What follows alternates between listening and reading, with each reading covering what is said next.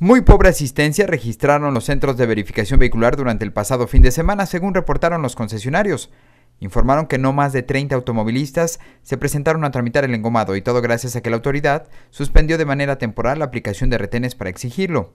Este año ha sido difícil para los prestadores del servicio, pues no han otorgado ni 200.000 documentos oficiales a la fecha, de un padrón de más de 750.000 unidades que se estima circulan en Ciudad Juárez.